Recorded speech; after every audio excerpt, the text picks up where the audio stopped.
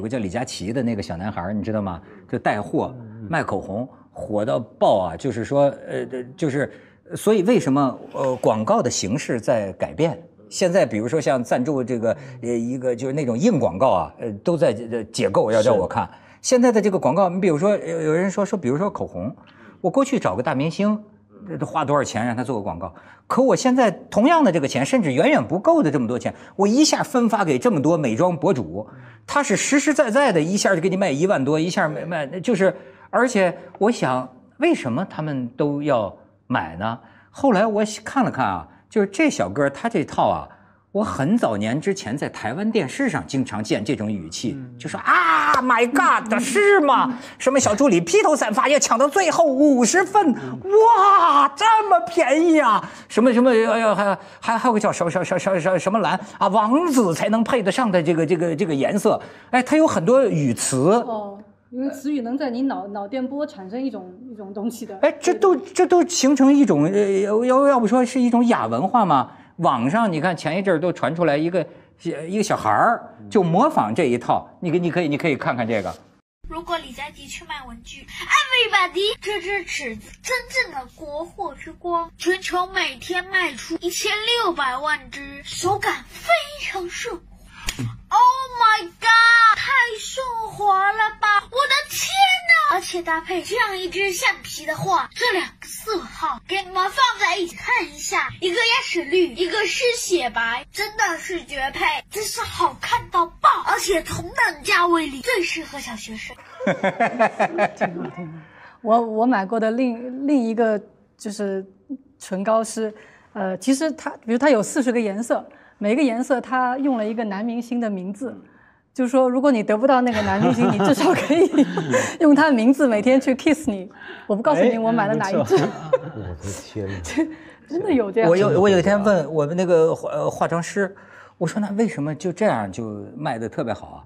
他说啊，他说你看，就是关键是这个口红啊，口红一般也不贵。对，而且口红呢，你能买多失败呢？对，所以才他说倒不也不是说买的人是被他怎么忽悠，就是你看他说成这样，哇，这这这这就是两百块钱啊，那我买，反正我也要买口红。他说，而且呢，口红不像别的，没有技术难度，它不像别的化妆，对吧？对，口红任何人只要自己一擦，哎，马上对你整个面色改善非常大。你又在做广告吗？我又植入了。据说经济不好，口红就卖的好。是没错。我要当窦佳琪行吗？我要当窦佳琪，比主持节目挣钱多了啊！所以你知道，我有一次在杭州做活动啊，参加一个事情，然后那天呢，在同样的一个活动场地，那是一个杭州的呃国展馆，呃呃呃呃，它的 Convention Center 会展中心，然后旁边呢，他们举办一个非常盛大活动，比我去那个活动要盛大太多了。一进门我就知道是怎么回事一进那个我们坐那个车子一进去，就看到旁边一群的女孩子站在门外。然后我一看，我就说：“哎，你看这些是网红。”然后跟我一起的说：“哎，你怎么知道是网红？这不这一看就知道这是网红脸吗？这一群都是网红嘛。”然后呢，跟着呢再走进去就看到这巨大的海报。那个海报呢，啊，就是几个网红站在占据海报中央，然后每个人都这么叉着腰。然后呢，跟着下面呢写一个字眼，那个字那那句话我觉得太印象太深了，请看我的小蛮腰。然后呢，跟着呢再再下面一句话，这是我们的时代。然后呢，我就惊呆了，说好吧，这就是你们的时代。然后上去就全都这样的。呃，后来我才知道那天呢是什么活动。然后那个会呢，就是把他们全国的这些带货网红召集起来办大会，然后呢是个。呃，誓师大会是个振作人心、奋发人心、鼓励士气的大会，把他们头五十名就是卖东西最强悍的召上来，这是他们的时代，他们来讲他们的经验，说很惊人啊，就一个这样的网红，一年带货带到几亿的。哦。就带到几亿的都是这种级别的，所以你说干嘛要给钱赞助什么广告什么呢？就直接给他们不就得了？你说这真是，就是说呃，前两天也是有个经纪人带网红的跟我讲，他都蔚为奇观。你知道，就是那种我我说这个网红不是带货的，就是网上做直播，网上做不是有这种网红那个直播平台有打赏的吗？然后呢，他跟我讲，我不知道是不是真的，不了解这个行业啊。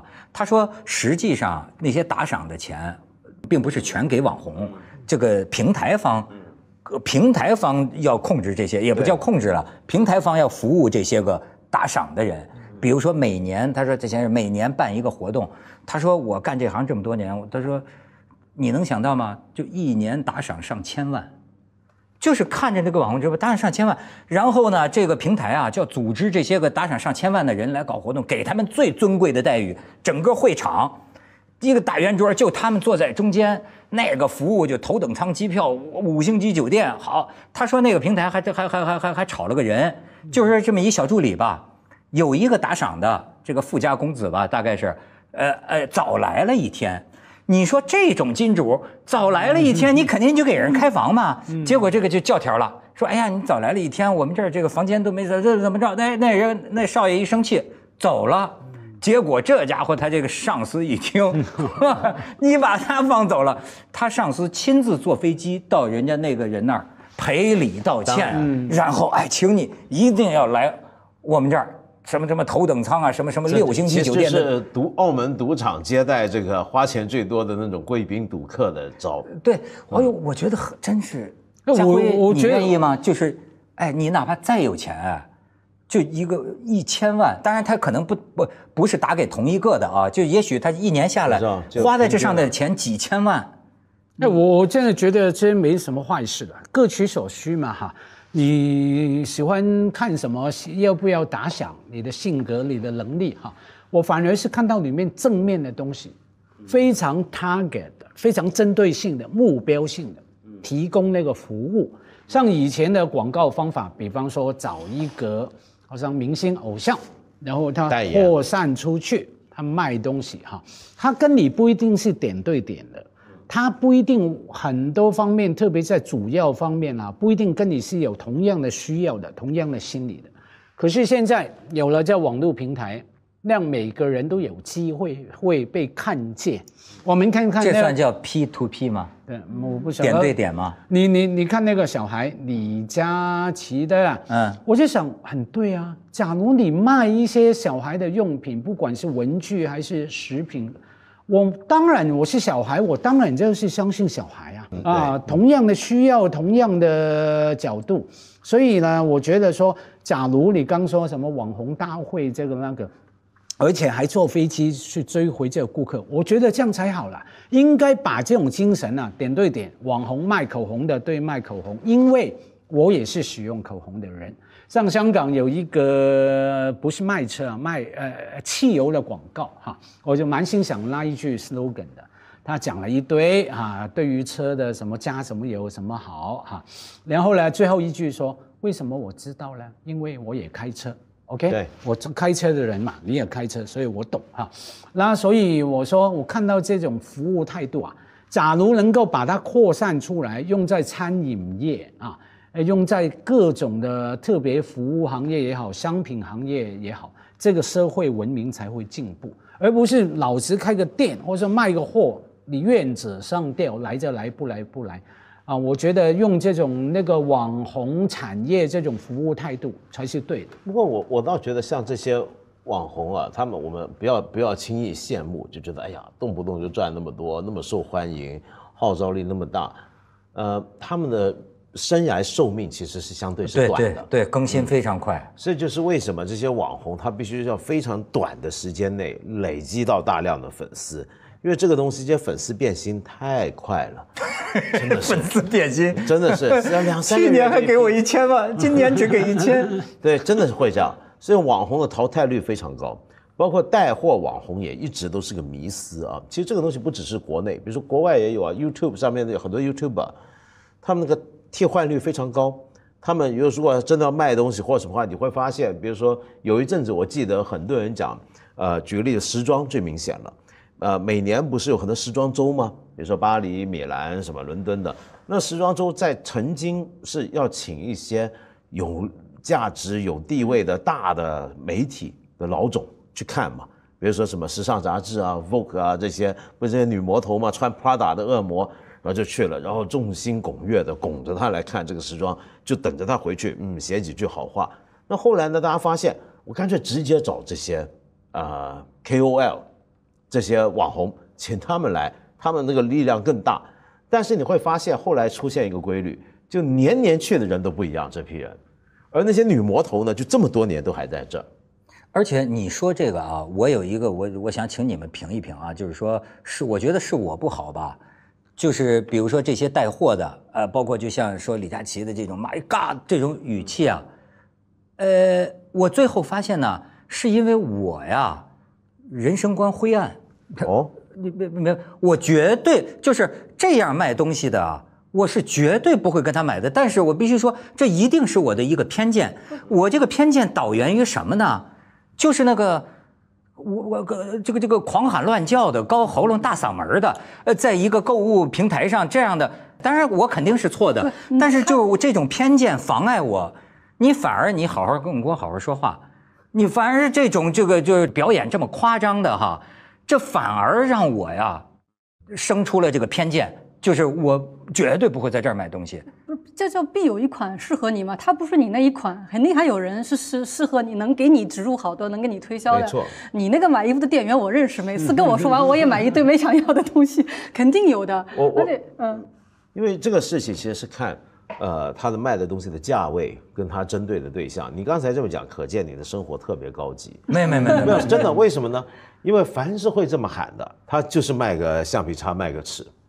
真不是，不不不，我跟你说，你把这带货的想低了。我知道。现在他还带世界名牌啊。我知道。是很多大品牌的口红、化妆品。对。这有有的非常贵。但是呢，他绝通常很少见到他们卖几十万的表。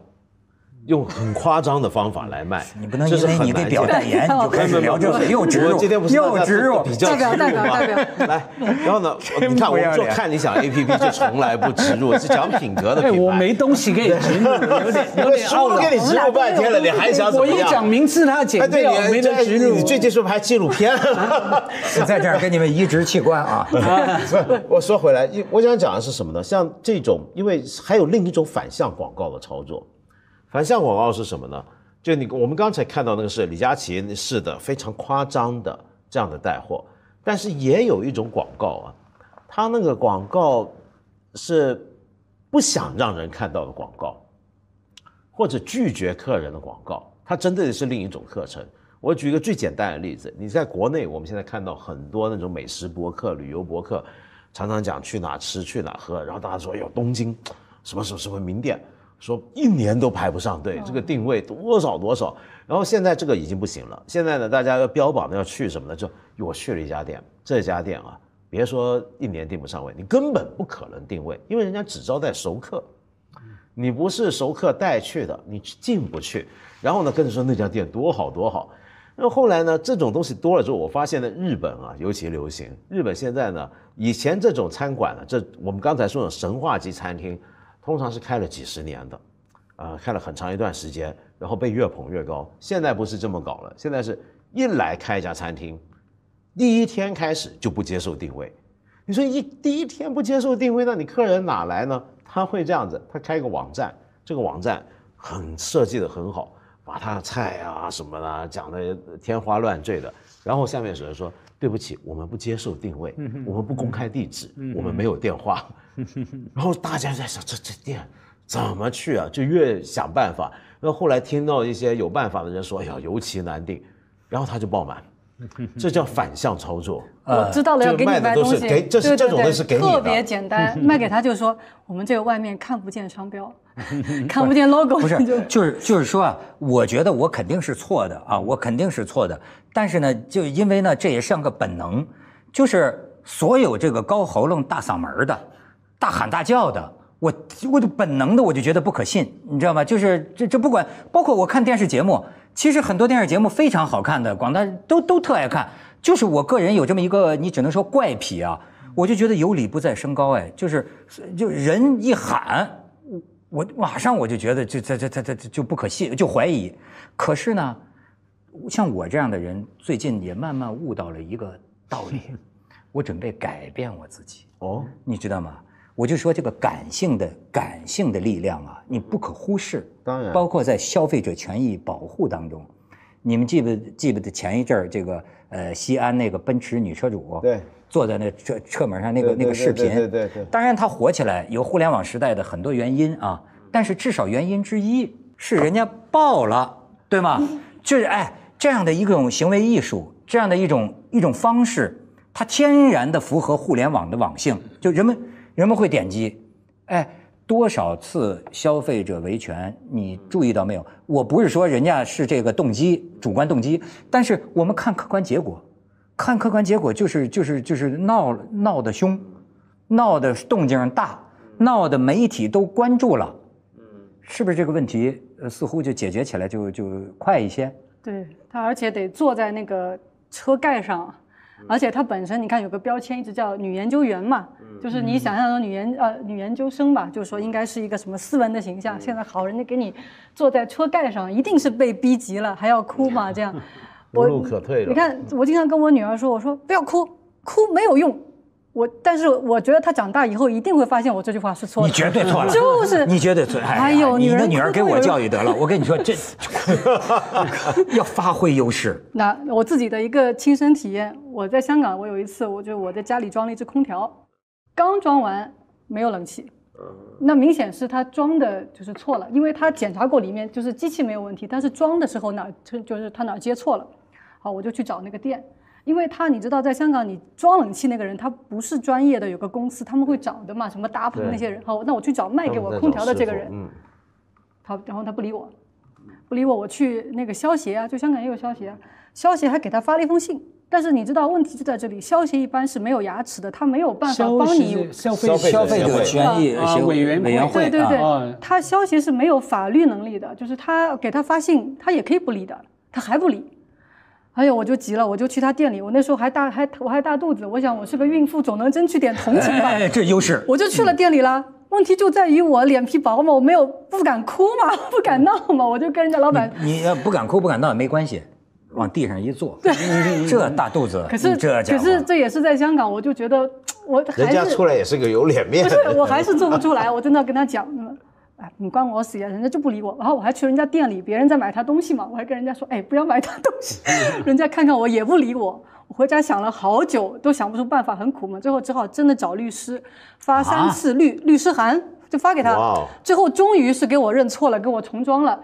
等律师再发给我他的费用，我的律师费可以再买三只空调，但是我就。我没办法拉开面子，就是能够哭出来，能够泼出来，我的代价就很高。哎，好，我就接着你，咱们就说香港。我也有一回，我对当然咱们应该提倡像义军这样啊，事实为依据，法律为准绳，尽量理性，不要搞那些哈。但是呢，我好想不理性。我亲身经历的香港这么一件事，我买了个那个韩国的那么一个大电视，好买回来呢，没一个月，哎。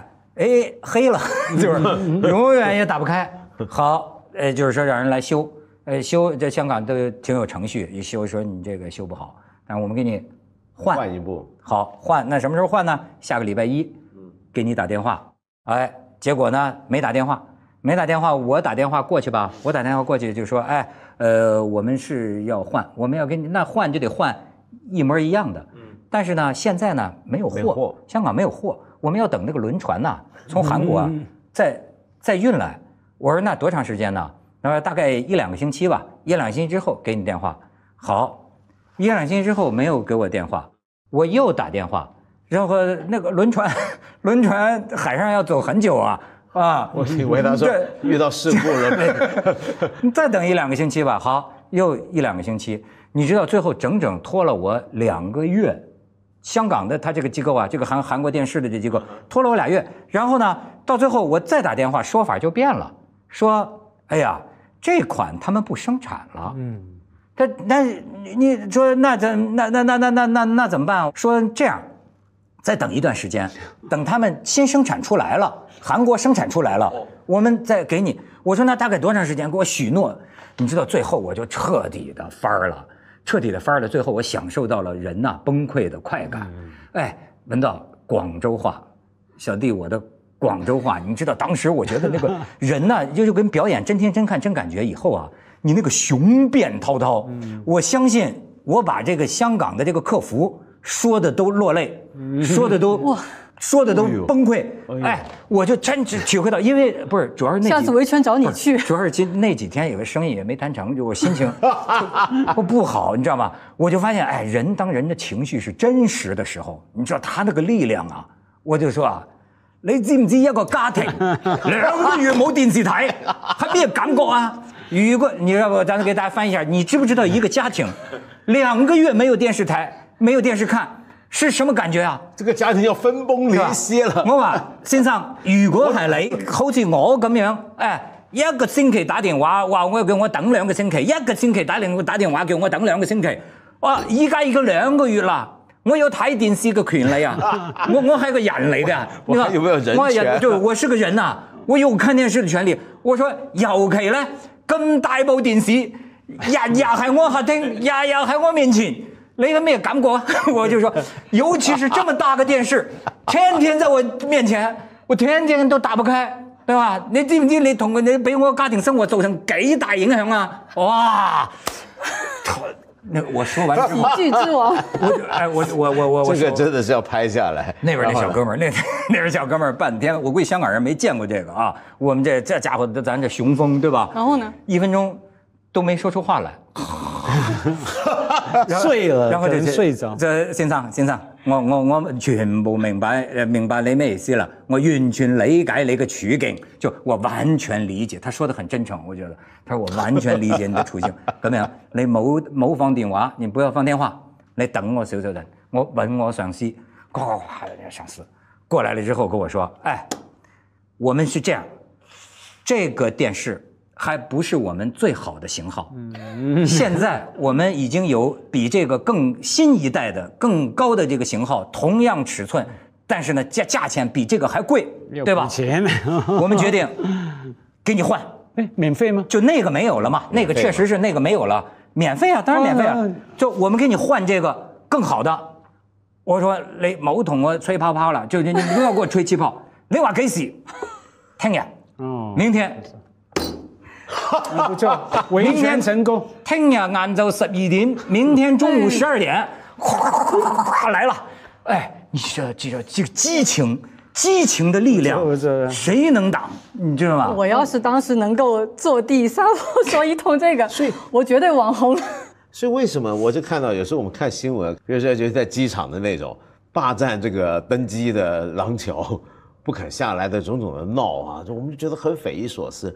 是因为真的很多时候闹，就是有就是有办法。不是我我我你那个不算闹啊。我我体会到装的不行，装的你没有那个能量，那么你你得是真逼急了，真逼急了。当然，咱们从这个事儿也可以反思，闹到这样不堪，这样不体面，我自己也很惭愧，对吧？我也觉得是很不对的。那是你的运气，这不应该这样，但不提倡这样。但是怎么样能夠？大家都挺体面的，把这事儿解决。我觉得目前暂时很难闹，有时候是真有真有用。就是说你不闹的话，人家就是不理你。假如我们说所有事情都很按规矩来，所有事情有程序的话，也许你闹的机会不多。因为你想想看闹是什么东西啊？闹其实是一个非常规的一个动作，然后才能够得到一些你要的，你的义务、权益或者什么也好。但这种非常规到什么程度？我举个简单的例子，我记得，呃，几年前我们公司一个同事去买机票，去订机票，然后后来呢，呃，去订机票，那时候还是不是那么互联网化，直接到旅行社，然后那个机票后来出问题，然后出问题之后呢，就要求那边退退款，然后那边不肯退。然後因为整件事是那个旅行社职员的人为错误，然后我们那个同事就气势汹汹，当天在他那个旅行社現場鬧了三小时，然后结果后来你知道这事要怎么解决吗？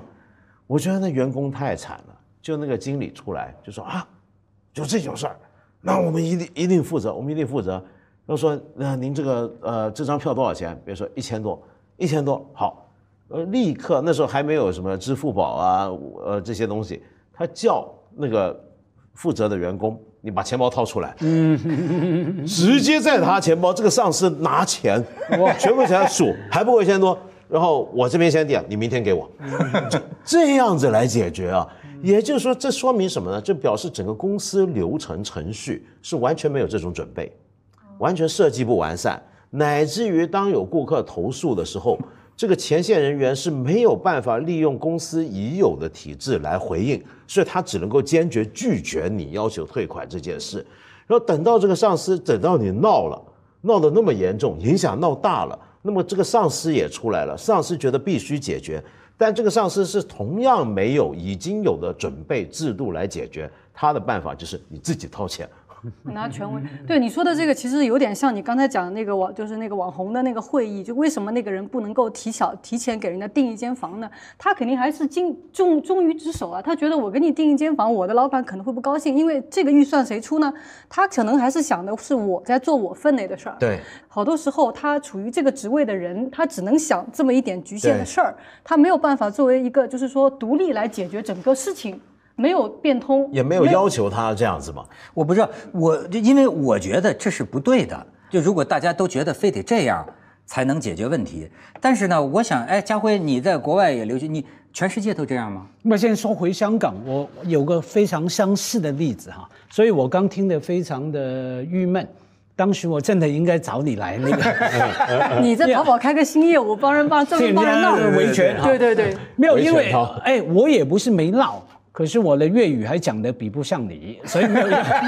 我用的策略也跟你很像。雷上顶，好的，我用的策略跟你蛮像的。我是买一张按摩椅啊，去试用过嘛。好，他也是答应我三个礼礼拜内有，结果没有。然后每一次打跟你好像啊，搞不好同一一家公司。你是买什么啊？电视哈，对电视啊，我是按摩椅啊，那种什么按摩啊什么哈。然后呃呃。一次又一次，每一次都说对，还在海运当中，航运当中一模一样。香港就爱这个轮船啊！啊，气得我爆炸。然后呢，而且有时候啊，你要不要闹，有一个关键，除了你个人有没有修养以外，就是对方的态度，对吗？我那个对方的态度，他不是不礼貌，他是太礼貌，完全好像一个呃电话录音这样回答，不管我怎么样说，哎。不对劲啊，这样不行啊！答应了，这这个那个，讲完了，他都再把他台词，而且用那种好像人工声音的，明明是个人，你知道吗？然后一直讲一遍，对不起先生，我们公司的规定是不是不是？就讲一遍，好像好像机器声音啊，我就火了，就这种态度，然后我就直接说，我说小妹妹，你明明是人呐，怎么样你要假装机器讲话了？然后我也开始发飙了，而且骂这种事情是这样的。